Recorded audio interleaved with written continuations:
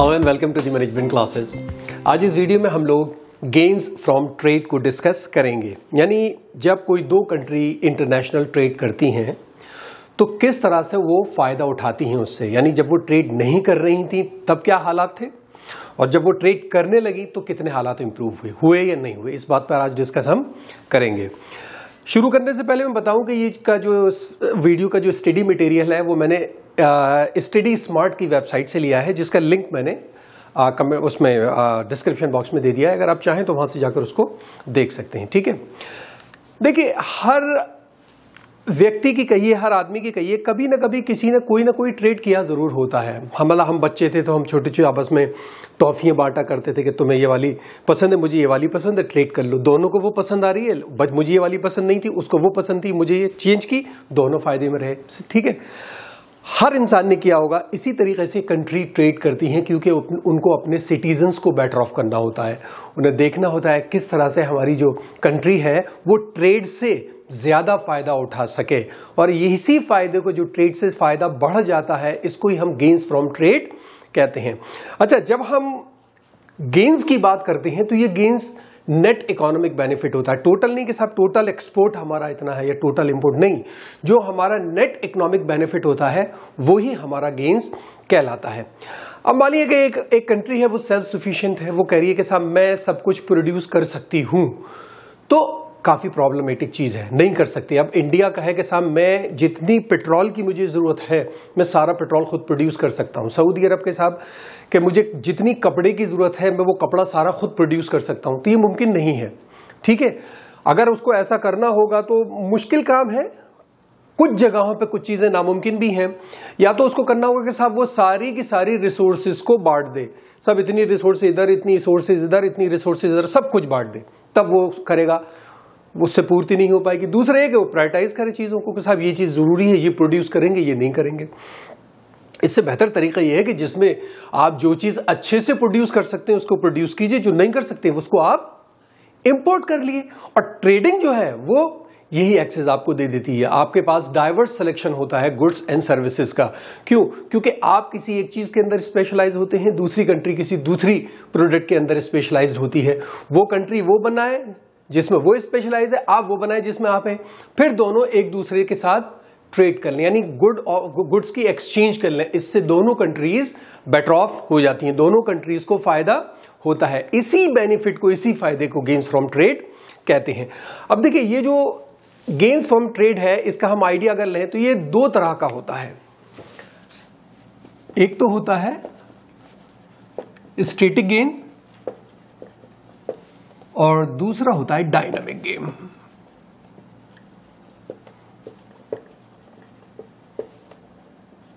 ठीक है? ये दो तरह के गेम्स होते हैं. एक होता है स्टेटिक गेम्स और एक होता है डायनामिक स्टेटिक गेम्स कौन सा होता है? जिससे के सोशल वेलफेयर इंक्रीज होता है. यानी पीपल का जो सोशल वेलफेयर है, वो इंक्रीज होता है. यानी जब हम अपनी प्रोडक्शन पॉसिबिलिटी फ्रंटियर से बियॉन्ड जाकर कंज्यूम करने लगते हैं। अगर हम यहाँ कंज्यूम कर रहे हैं तो पीपीएफ पर हैं, यहाँ यहाँ। अगर हम यहाँ कंज्यूम करने लगे, इतना ये प्रोडक्ट इतना ये प्रोडक्ट तो उस केस में हम कहते हैं कि हमें गेन हुआ, और ये स्टेटिक गेन्स कहलाता है। समझ में आ रही? अच्छा ऐसी होता है डायनामिक डायनामिक गेन्स जो होता है, वो कब होता है? जब आपकी नेशन की इकोनॉमी ग्रो या डेवलप कर रही होती है फास्टर देन विदाउट ट्रेड यानी हम ये मान के चलें कि हमारी कंट्री पहले हमारी इकोनॉमी पहले कितनी ग्रोथ कर रही थी? और ट्रेड के बाद जो ग्रोथ होती है, वो पहले वाली ग्रोथ से तेज होती है। उसको हम लोग डायनामिक गेंस कहते हैं। और इसके अंदर ज़ाहिर वो क्या होता है? ट्रेड इंक्रीज होता है किसी भी नेशन का, जिससे नेशन की इनकम और प्रोडक्टिव कैपेबिलिटीज बढ़ती है स्पेशलाइजेशन की वजह से। क्योंकि इसके, जब हम ट्रेड शुरू करते हैं तो हम किसी एक प्रोडक्ट में स्पेशलाइज होते हैं, हम उसी पर ज़्यादा ध्यान देते हैं, क्योंकि हमें वो एक्सपोर्ट करना होता है, उससे हमारा प्रोडक्शन बढ़ जाता है। ठीक है? और पहले वो चीज़ नहीं होती। तो यानी ट्रेड जो है, वो आपको ज़्यादा मौका देता है कि आप ज़्यादा सेव करें और ज़्यादा इन्वेस्ट करें देन प्री ट्रेड जब आपके पास ट्रेड नहीं था और इससे दोनों कंट्रीज़ जो है वो फ़ायदे में रहती हैं, दोनों कंट्रीज़ बेट सॉरी दोनों कंट्रीज़ बेटर ऑफ़ होती हैं। इसकी कैलकुलेशन की देखते हैं, हम कैसे करते हैं? टेबल के ज़रिए फिर उसको हम समझेंगे कि ट्रेड अपॉर्चुनिटी कॉस्ट क्या है ट्रेड से पहले कंट्री के क्या हालात है, फिर ट्रेड के बाद। तो इसको हम लिखेंगे measuring gains from trade measuring gains from trade ठीक है? इसके अंदर क्या हम देखेंगे कि how much a country gains when they engage in international trade जब कोई भी कंट्री इंटरनेशनल ट्रेड में एंगेज करती है तो कितना गेन उसको होता है, कितना फ़ायदा उसको होता है? इसको मेजर करने के लिए सबसे पहले हमें क्या करना होगा? हमें ये बात समझनी होगी कि कोई भी कंट्री सारा कुछ प्रोड्यूस नहीं कर सकती। उसके अंदर स्पेशलाइजेशन होता है किसी एक प्रोडक्ट के अंदर। हम एग्ज़ाम्पल लेके चले, एक कंट्री दस प्रोडक्ट में भी स्पेशलाइज होती है। हम मान के चलते हैं कि हर कंट्री हर प्रोडक्ट में स्पेशलाइज नहीं होती और ये बात सही है। जैसे मैंने भी आपको कपड़े का और पेट्रोल का एग्ज़ाम्पल दिया, ठीक है? कुछ कंट्रीज़ को दूसरी कंट्री के ऊपर एडवांटेजियस होना होता है। जैसे सऊदी अरबिया एडवांटेजियस है over India in the production of oil और इसी तरह से इंडिया को एडवांटेज है in the production of cloth rice वो यहाँ नहीं होते हैं, ठीक है? और बहुत सारे रीजन हैं, उसके क्लाइमेट चेंज है जोग्राफी है नेचुरल रिसोर्सेज है स्टैब्लिशमेंट ऑफ़ इंफ्रास्ट्रक्चर है जापान का इंफ्रास्ट्रक्चर बहुत सपोर्ट करता है इलेक्ट्रॉनिक्स प्रोडक्ट को, वहाँ पर वो ज़्यादा होते हैं, ठीक है? तो जब एक कंट्री बेटर होती है in the production of one good तो उसको हम कहते हैं कंपेरेटिव एडवांटेजेस पढ़ा होगा हमने इस पर सेपरेट वीडियो बनाई है.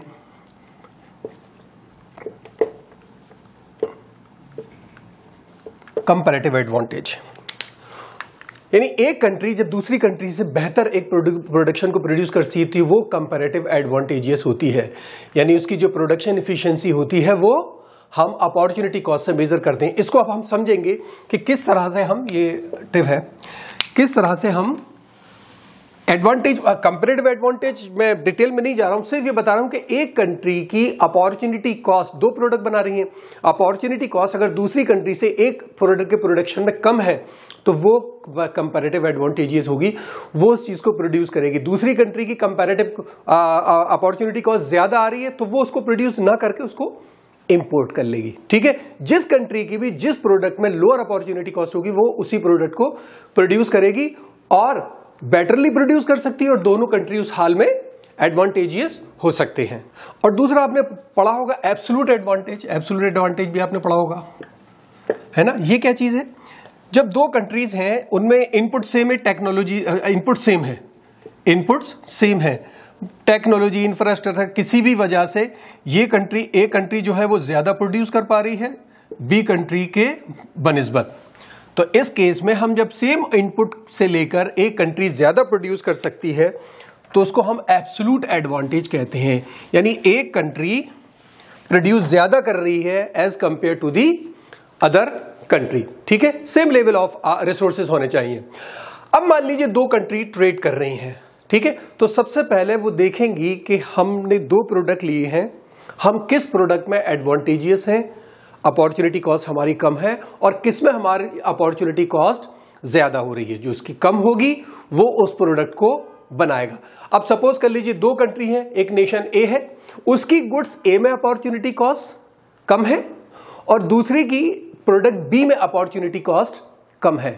तो कंट्री ए जिसमें उसकी कम है, उसको प्रोड्यूस करेगी और जो बी बना रही है, उसको इंपोर्ट करेगी। इस तरीके से वो प्रोडक्ट को एक दूसरे के बैठे उसको सप्लाई करेंगे एक्सचेंज करेंगे और दोनों बेटर ऑफ़ होंगे। दोनों को फ़ायदा होगा, क्योंकि इस केस में दोनों का प्रोडक्शन मैक्सिमाइज करेगा और दोनों फिर भी सारी प्रोडक्शन को, यानी सारी गुड्स एंड सर्विसेज़ को यूज़ कर रहे होंगे।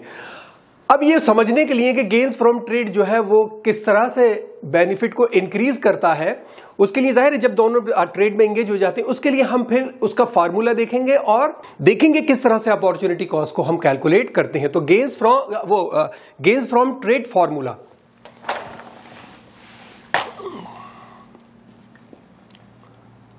gains from trade formula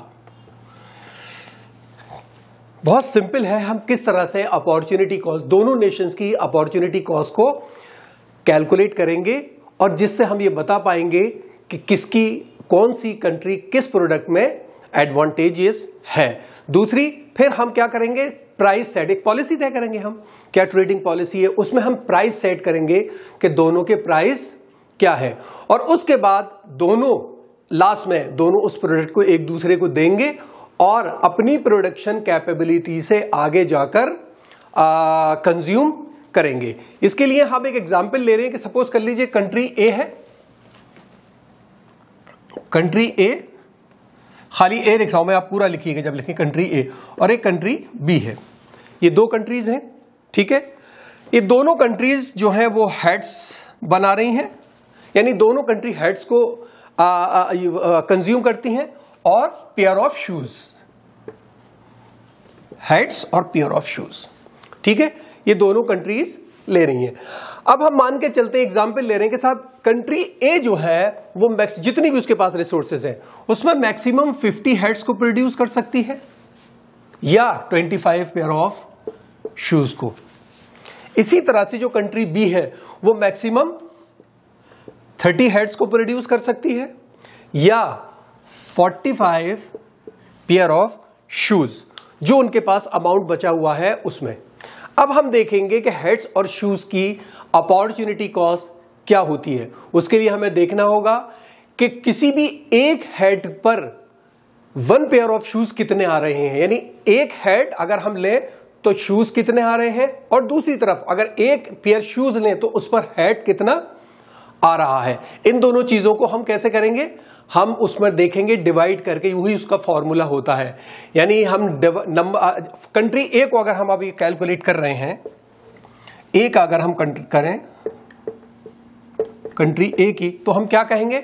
हम सिंपली कहेंगे कि divide the number of shoes by number of heads यहाँ हम क्या कर रहे हैं? यहाँ हम देख रहे हैं कि how many head cost each nation to produce one pair of shoe यानी एक पेयर ऑफ़ शू बनाने के लिए, बनाने के लिए हमें कितने हेड को सेक्रीफाइस करना होगा और वाइस वर्षा हम दूसरे को देखेंगे। तो सबसे पहले क्या दें? हम अपॉर्चुनिटी ऑफ़ हेड्स लेंगे। अपॉर्चुनिटी कॉस्ट ऑफ़ हेड्स मैं इस तरह से लिख दे रहा हूँ। कंट्री ए का चल रहा है ये। ठीक है? कितने हैं ये? 25 शूज़ हैं। और 50 हेड्स हैं। कितना आ गया ये? है ना? हाफ़ और ज़ीरो पॉइंट फाइव ठीक है यहाँ पर? अच्छा ये तो हेड की निकल के आई। शू की क्या होगी? शू की क्या होगी? इसको अपोजिट कर देंगे हम। 50 डिवाइड बाई 25 50 डिवाइड बाई 25 आ रही है बात समझ में? और इसी तरह से हम बी, आ, आ, बी को भी करेंगे। बी को कीजिए तो उसका क्या आ जाएगा? 1.5 एंड 0.67 में कर नहीं रहा। यानी इसके, ये वाला आ जाएगा 1.5 और ये आ जाएगा 0.67 ठीक है? ये जिस तरह क्या एग्जैक्टली इसी तरह बी को कीजिए तो ये आ जाएगा। अब इसकी हम एक जो टेबल बनाए, वो क्या होगी? इसी की हम अगर, या नीचे बना लें, इसी पर लिख देते हैं हम यहीं पे। ठीक है? क्योंकि हमारी अपॉर्चुनिटी कॉस्ट तो निकल आई है। तो ये अपॉर्चुनिटी कॉस्ट हेड्स की कितनी निकल कर आई थी? 0.5 और शूज़ की कितनी निकल कर आई थी? टू कंट्री बी के लिए कितनी निकल कर आई है? 1.5 और ये 0.67 क्लियर है? समझ में आ रही है? इसमें क्या पता चल रहा है? अब इसको समझिए कि अगर कंट्री ए शू बनाएगी तो उसको दो शू बनाने के लिए हाफ़ हेड सेक्रीफाइस एक शू बनाने के लिए हाफ़ हेड को सेक्रीफाइस करना होगा। इसी तरह अगर कंट्री बी बी जो है वो आ, एक हेड बनाएगी तो उसको 0.67 शूज़ को सेक्रीफाइस करना होगा। इसका मतलब क्या हुआ? Country A has a comparative advantage in heads क्योंकि उसको है, दो हेड बनाने के लिए सिर्फ़ इतना ही सेक्रीफाइस करना होगा। जबकि अगर कंट्री बी इसको बनाएगी तो एक जोड़ी भी नहीं बनेगा और इतने सारे हेड को सेक्रीफाइस करना होगा। तो जो कंट्री ए है, वो हेड्स के अंदर कंपेरेटिव एडवांटेजियस हो गई। इसी तरीके से अगर आप बी को लीजिए तो बी जो है, वो ये नहीं कर पा रही है। लेकिन बी अगर शू को प्रोड्यूस करेगी तो उसको शू प्रोड्यूस करने के लिए सिर्फ़ इतना सा ही सेक्रीफाइस करना होगा। तो ये शू जो है बी की तरफ़ आता है। तो अब हम इस एग्ज़ाम्पल से ये समझे कि कंट्री ए जो है, वो comparative advantageous in the production of heads and country B is comparative advantageous in the production of shoes ठीक है? इसको सही से पूरा समझने के लिए एक पूरी हम टेबल बनाते हैं, जिसमें हम पूरा देखेंगे कि बिफोर ट्रेड बिफोर ट्रेड क्या सिचुएशन थी? और आफ्टर ट्रेड क्या सिचुएशन है? इसके लिए कंप्लीट एक टेबल बनानी होगी। तो मैं वो पहले टेबल बना लेता हूँ, फिर हम शुरू करते हैं। ठीक है? ओके तो मैंने टेबल बना ली है। अब इस टेबल को समझने की कोशिश करते हैं। देखिए, ये तो हमारा पहले वाली फिगर याद की जो हमने सबसे पहले टेबल में लगाई थी, ये वही वाली फिगर है कि जब ये production and consumption without trade यानी प्रोडक्ट अपनी कंट्रीज़ जो है, वो सेल्फ सुफिशियंट है। खुद प्रोड्यूस कर रही हैं खुद कंज्यूम कंज्यूम कर रही हैं। उस वक्त कंट्री ए जो है, वो 40 हेड्स एंड 5 शूज़ प्रोड्यूस कर रहा था और country B 10 heads and 30 shoes ये कंट्री बी है और ये कंट्री ए है। ठीक है? अब ये देखिए उस वक्त हमने अपॉर्चुनिटी कॉस्ट मैंने यहाँ लिख लिया है टेबल में होनी नहीं चाहिए ये, लेकिन मैंने क्योंकि समझाने में आसानी रहे। हमने अपॉर्चुनिटी कॉस्ट लिख ली थी 0.5 और 2 1.5 और 0.6 वो वाली अपॉर्चुनिटी कॉस्ट मैंने यहाँ पर उतार ली है। ये बिफोर ट्रेड का है कि इतना कंज्यूम कर रहे हैं और इतना ही प्रोड्यूस कर रहे हैं। प्रोड्यूस कर रहे हैं और कंज्यूम कर रहे हैं, ठीक है? अब ये दिमाग में लाते हैं कि साहब हम हम जो है वो इंटरनेशनल ट्रेड हम ट्रेड करेंगे एक दूसरे से। अब जब ये ट्रेड करेंगे तो सबसे पहले बात आएगी कि साहब प्राइस क्या सेट किए जाए प्रोडक्शन के? इंटरनेशनल मार्केट के अंदर। अपने जो भी हैं, अपने वो अलग हैं। इंटरनेशनल मार्केट में क्या प्रोड्यूस करेंगे? अब जब ये कंट्री ए मान लीजिए हेड के प्राइस सेट कर रही है तो कंट्री ए कहेगी कि मेरे प्राइस जिस प्राइस पे मैं इसको बेचूँगी, वो हर हाल में 0.5 से ज़्यादा होने चाहिए। क्यों? 0.5 मेरी अपॉर्चुनिटी कॉस्ट है, इतने में तो मैं खुद भी बना लूँगा। कंट्री ये कहेगी कि 0.5 में तो मैं खुद ही बना लूँगा, अगर मैं इतने ही प्राइस पे बेचू हेड तो इतने पे तो मैं खुद भी बना सकता हूँ। तो मुझे हर हाल में इससे ज़्यादा प्राइस चाहिए ताकि मुझे फ़ायदा हो कि ये मेरी अपॉर्चुनिटी कॉस्ट है, मुझे उससे ज़्यादा बाहर से मिल रहा है तो मैं क्यों बनाऊँ? बाहर से लू। और कंट्री बी भी उसी केस में खरीदेगी इसको, जब उसकी अपॉर्चुनिटी कॉस्ट से कम में उसको मिलेगा। 1.5 तो उसकी अपॉर्चुनिटी कॉस्ट खुद है हेड की। 1.5 अगर ये कंट्री बेच रहा है, इसको कंट्री ए तो वो इतने में खुद ले लेगा, वो क्या ज़रूरत है? वो अपने खुद प्रोड्यूस कर लेगा तो वो कहेगा, अगर इससे मुझे कम मिलेगी तो मैं बेचूँगा। यानी 1.5 से कम होनी चाहिए 0.5 से ज़्यादा। तो सपोज़ कर लेते हैं हम कि इन दोनों के बीच में एक बीच का रास्ता निकला। उन्होंने कहा कि ठीक है, हम दोनों के प्राइसेस को सेम मान लेते हैं। जो हमारे हेड्स हेड के प्राइस है वो ही शूज़ के प्राइस है। ये यहाँ मत लिखिएगा, मैं आपको दिखाने के लिए लिख रहा हूँ। ठीक है, हमने यहाँ पर इसके दोनों को तय कर लिए प्राइसेस को। अब जब प्राइस तय हो गए तो अब हमारा प्रोडक्शन चालू हुआ इंटरनेशनल ट्रेड के हिसाब से। अब मुझे मालूम है कि कंट्री ए जो है वो कंपेरेटिव एडवांटेजियस है in the production of head यानी अब वो हेड प्रोड्यूस करेगी ज़्यादा और शू इंपोर्ट करेगी। तो वो क्या करेगी कि जितनी रिसोर्सेज उसने प्रोडक्शन ऑफ़ शूज़ में लगाए हुए थे, वो रिसोर्सेज ये in the production of heads कर देगी। तो हेड का प्रोडक्शन पहले 40 था, वो बढ़कर 50 हो गया टू के हिसाब से। ठीक है? और सारा का सारा जितना भी था इधर लगा दिया तो शू उसको प्रोड्यूस करने की अब ज़रूरत नहीं है। यानी अब जो प्रोडक्शन है कंट्री ए के अंदर, वो 50 हेड्स और ज़ीरो शू प्रोड्यूस कर रही है। बी कंट्री बी जो है, उस comparative advantages in the production of shoes ठीक है? तो उसने क्या किया कि इसमें से कुछ रिसोर्सेज जो है, वो शिफ्ट कर दी in the production of shoes यानी अब उसको ज़ाहिर है वो कंपेरेटिव एडवांटेजेस है तो उन्होंने कहा, मैं ये ज़्यादा प्रोड्यूस करूँ? ये थोड़ा करूँ? क्योंकि बाकी तो मैं इंपोर्ट कर लूँगी.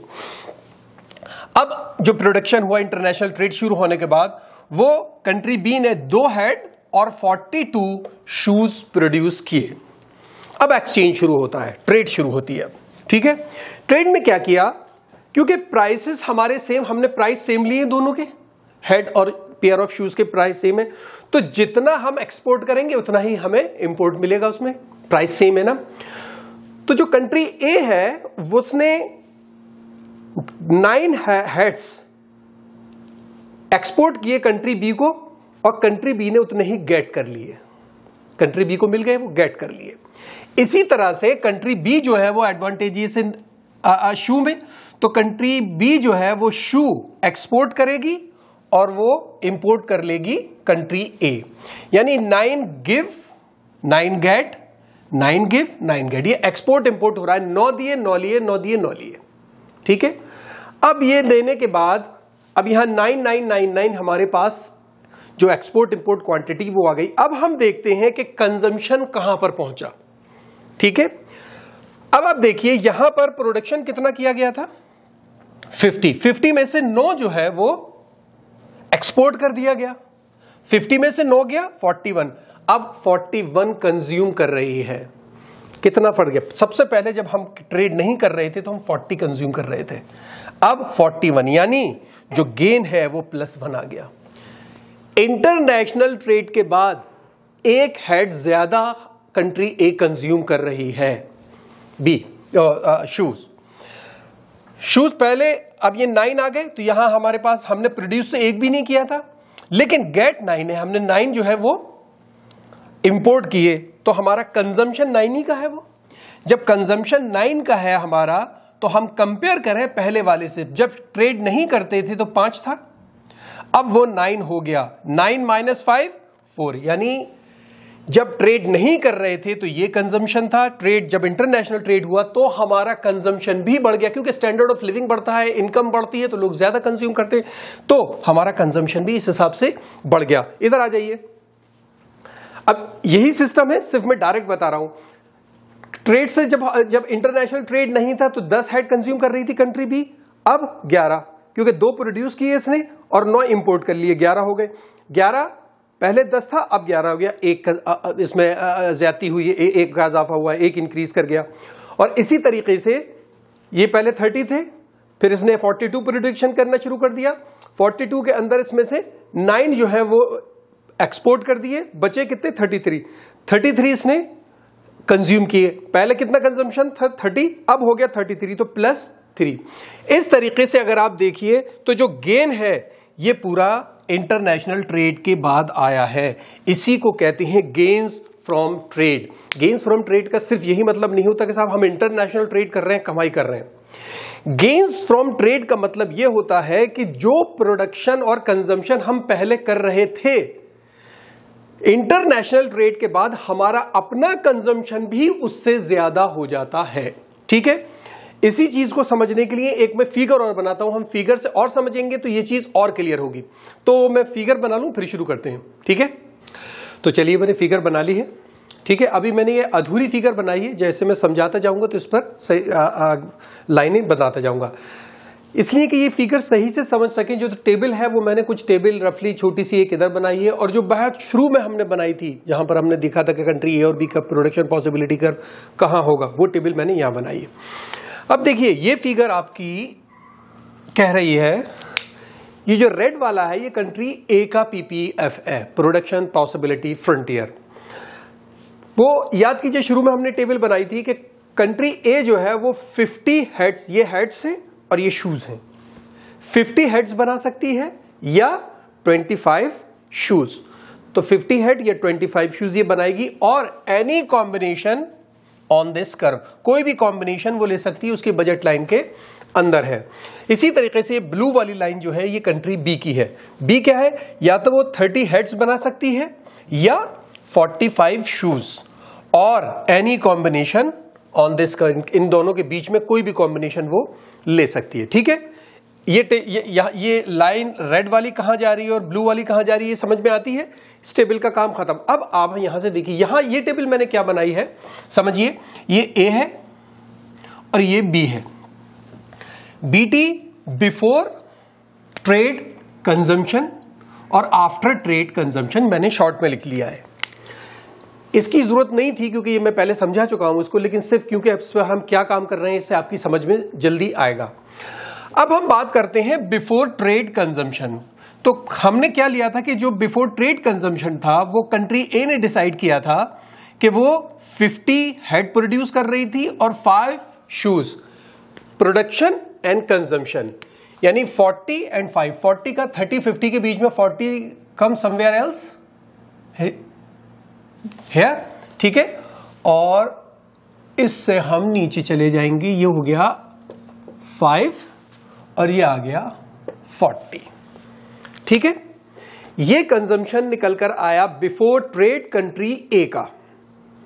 और इसी तरीके से कंट्री बी का लीजिए, वो कह रही है कंट्री बी जो है प्रोड्यूस कर रही थी ten heads and thirty shoes तो टेन हेड्स कहाँ आ जाएँगे? यहाँ जाएगा फिफ्टीन टेन यहाँ जाएगा। यहाँ कहीं?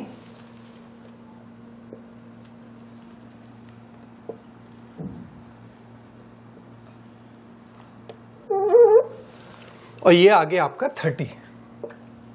Thirty, twenty five, thirty, और ये टेन। ठीक है? यहाँ तक बात समझ में आ रही है?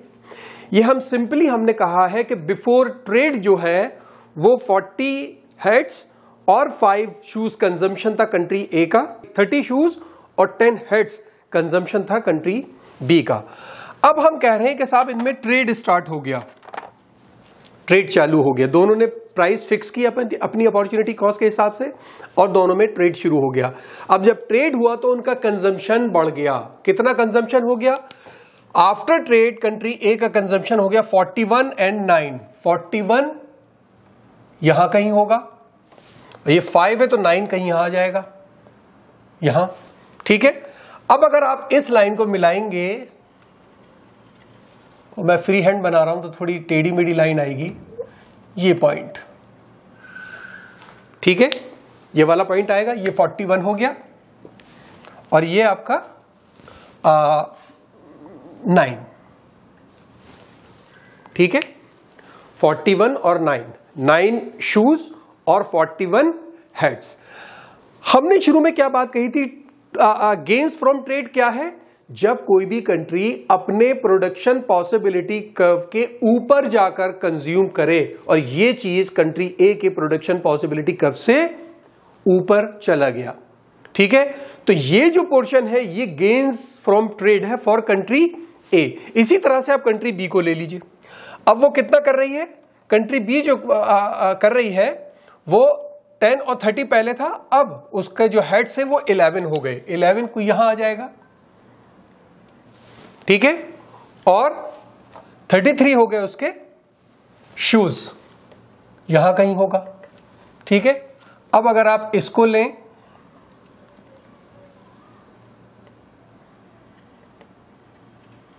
यहाँ आ रहा है। इस केस में भी आप देखिए, जो कंट्री बी का कंजम्पशन है, वो इस लाइन से ऊपर चला गया। तो ये जो पोर्शन है, ये गेन्स फ्रॉम ट्रेड है फॉर कंट्री ए और ये जो है, ये है फॉर कंट्री बी ठीक है? यही गेन्स फ्रॉम ट्रेड है दोनों कंट्रीज़ का। यही हम इससे समझना चाह रहे हैं कि जब, बस समराइज कर रहा हूँ थोड़े से वर्ड्स में। जब कोई दो कंट्री आपस में ट्रेड करती हैं तो उनके अंदर स्पेशलाइजेशन हो जाता है। वो स्पेशलाइजेशन पे काम करते हैं। एक कंट्री एक प्रोडक्ट में स्पेशलाइज होती है, दूसरी कंट्री किसी दूसरी प्रोडक्ट में स्पेशलाइज होती है।